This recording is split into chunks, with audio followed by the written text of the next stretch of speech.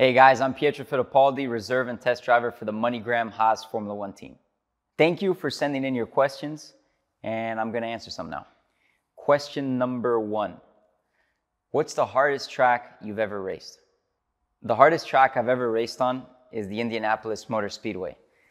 You're doing about average 230 miles an hour, uh, so I don't even know how many kilometers an hour that is, and uh, you're skimming the walls, you're racing with, you know, another 33 cars on track, and everybody's fighting to, you know, get that Indy 500 win. It's a, it's a massive race. It's high pressure, high speeds, and the adrenaline is, uh, is insane.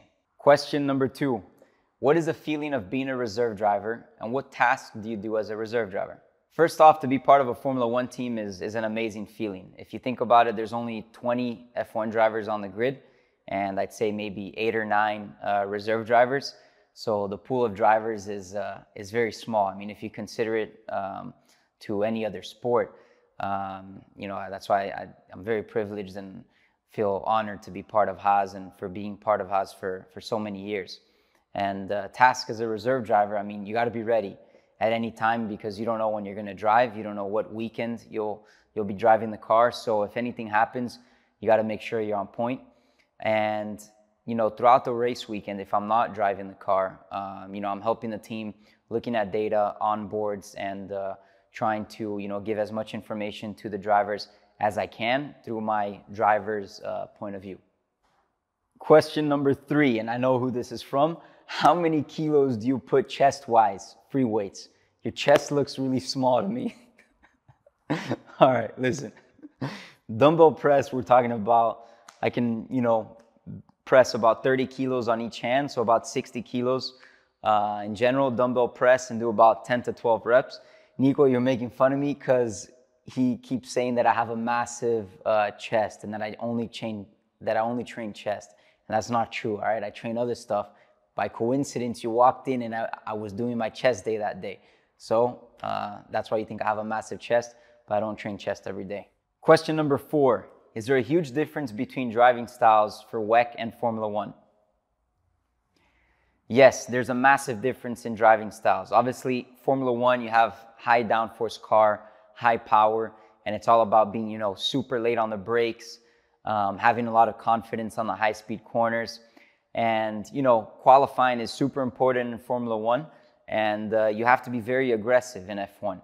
In WEC, in endurance racing, it's different. You have to be aggressive when it counts, but sometimes in the longer races, you know, 24 hour races, you have to learn how to be patient and wait for the right moments. You're running with a lot of traffic on track. So sometimes you're out on track and you have 60 cars and not from the same class. So you're racing with GTs, with prototypes. So in a race, you might be passing six, seven cars uh, in a lap. I mean, even more, 10 cars in a lap. It's a very different type of racing. Qualifying doesn't matter as much, but your race pace and knowing how to manage traffic is much more important in, uh, in endurance racing in WEC than it is in Formula One.